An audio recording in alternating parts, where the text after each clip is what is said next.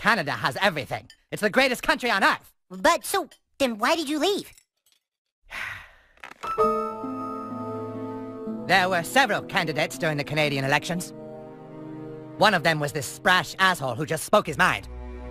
He didn't really offer any solutions, he just said outrageous things. We thought it was funny.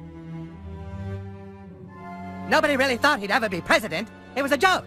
But we just let the joke go on for too long.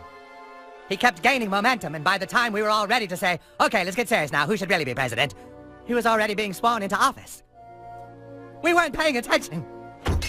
We weren't paying attention!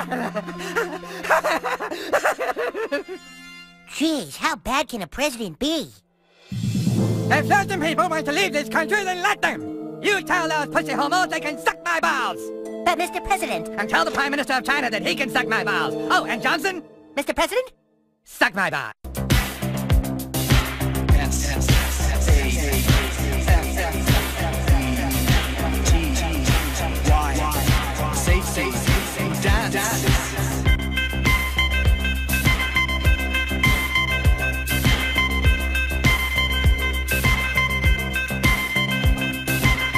We can dance if we want to.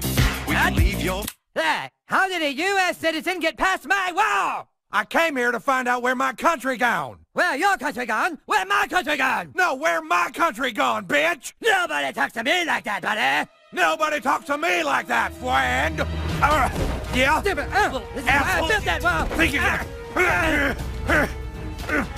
Hey, there you go. There you go. I, I came here to do one thing. Hey, what the? Oh, hey, that pokes, buddy!